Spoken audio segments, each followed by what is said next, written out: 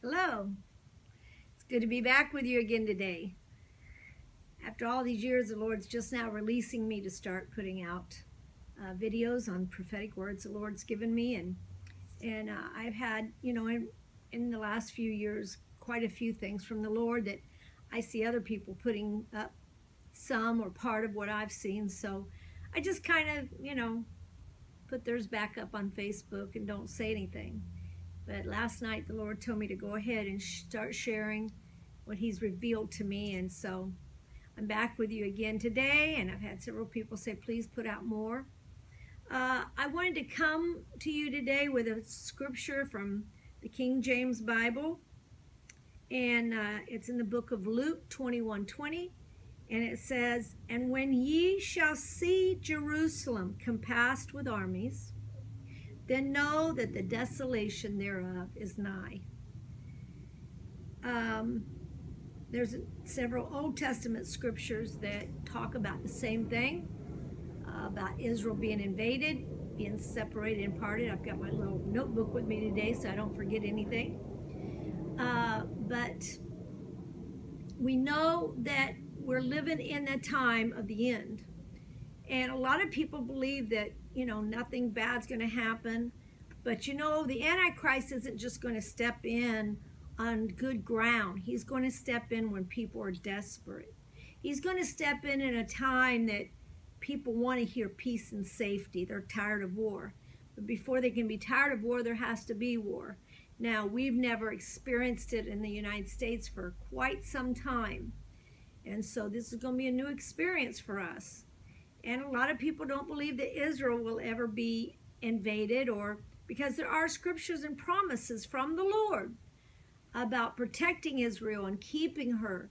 And she's the apple of his eye. And that's all true. But Jesus tells us in the New Testament that the armies would be compassed about Israel again and that the desolation would, be nigh. Now, we do know that in around 70 AD, uh, Rome did compass Israel and took it and um, distributed the, the Jews in the Great Disp Dispensation all over the world. But uh, there are other scriptures that lead us to understand that this is a future time in the time of Antichrist system being set up. And so I started with that scripture, and I'll also start with a, a word the Lord gave me. Um, I was on a 21 day fast some years ago, and the Lord revealed to me uh, the Antichrist system. I've seen it set up, I've seen how it's going to operate. Uh, I have seen um, who many are calling the false prophet or Antichrist. Um, and I can just tell you that the system is ready. Uh, I'm going to talk to you about a couple current events today because in the vision the Lord showed me, um, I asked him how I would know when these things were about to happen. And he told me, when you see Israel become an international city, Jerusalem, rather, become an international city, you'll know the Antichrist is at the door. So that's why I'm putting out these videos is because that is happening. The UN has uh, voted to separate and divide Israel as they had decided at her beginning, but God had protected her for 70 years. And so uh, I wanted to bring some current events to you today that really speak of the fact that Israel is being surrounded by its by the armies. They've always been surrounded by their Arab neighbors who there's always been conflict, missiles, fighting, all of that. But the Bible talks about the nations of the world. So today in the news, this today is um, is January. Uh, gosh, what is today's date? I think it's the 12th, January 12th.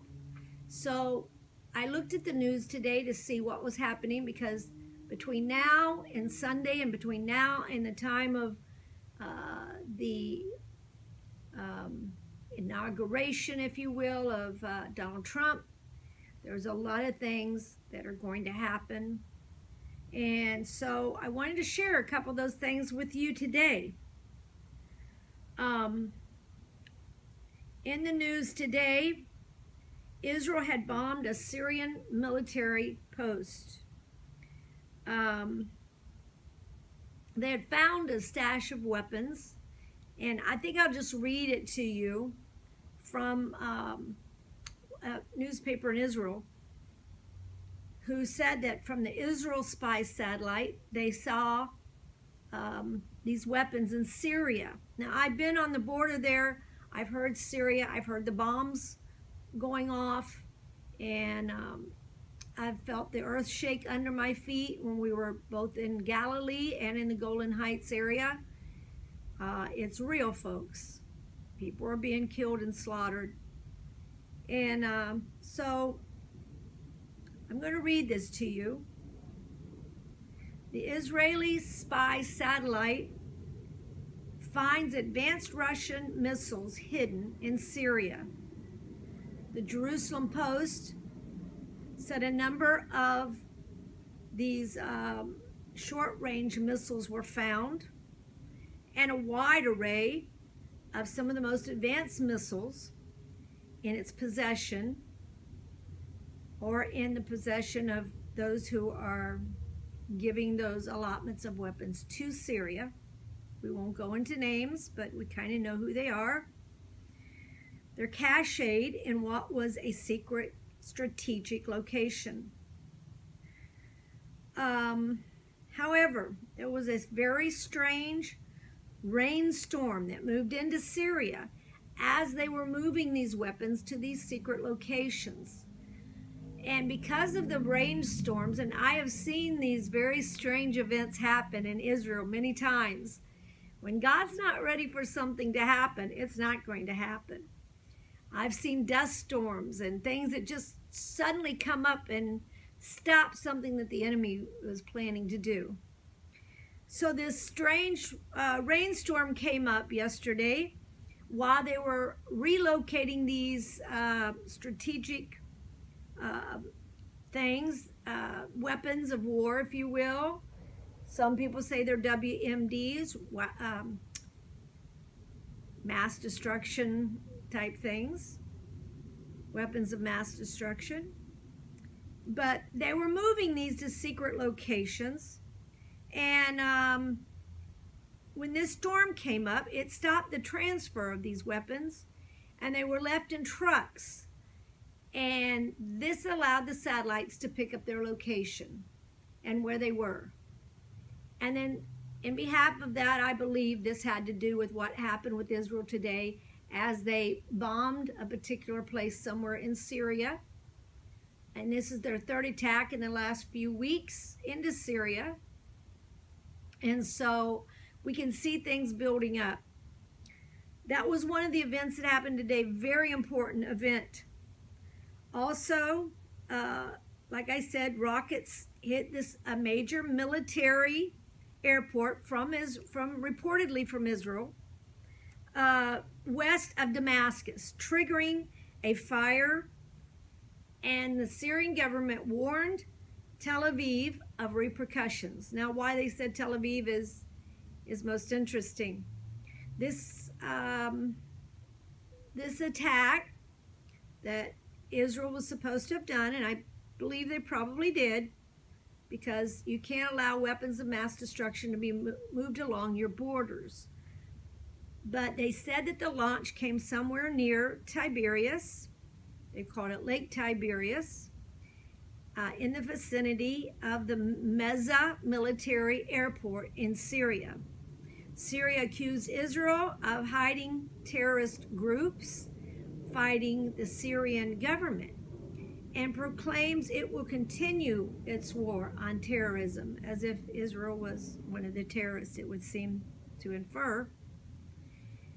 Also today we read in Fox News that thousands of U.S. troops, thousands it says, crept up on the Russian doorstep Thursday. This would be yesterday now, uh, on my clock as I'm recording this, rolling into Poland. And the first time in decades that that kind of movement by American troops in that area of the world had happened. Uh, Putin wasn't happy about this, and he said, We perceive it as a threat. These actions threaten our, in, our interest and our security, especially as it concerns a third party buildup of its military near our borders. So we see and have seen for some time that there's a buildup in the Middle East surrounding Israel. It is my understanding that everything that's going on in Syria and the Middle East with all these various nations are going to turn on Israel. Once they've uh, eliminated those they don't want there or um, made their plans more settled and they have everything in place instead of fighting each other and ISIS and all these other intelligent uh, gr groups that have come together in Syria to fight, I believe that they will then come against Israel. And Israel will be attacked. And Israel will be invaded. I'm a friend of Israel.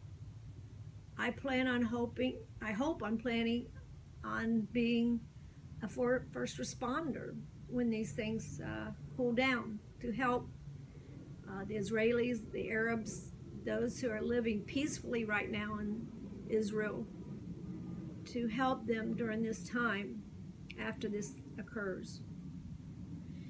But we know and we understand from reading the Bible that the Antichrist system must and will set up. There's no preventing it. There's no changing the Bible. Bible declares that there'll be an Antichrist that will set up in the temple. Now, many people think that means the hearts of man, and of course, on one side of the scale, it does. We are the temple of the Holy Spirit. And the Antichrist will set up in many of the temples that are walking around. But there is a physical temple in Jerusalem. The Lord's revealed it to me, talked to me about it, given me much uh, information on the building of the third temple. I don't believe that the building will ever be completely completed before Antichrist sets up there. But all these things are in the works. Um, so we see that the buildup in the Middle East and the proposition of war is very real.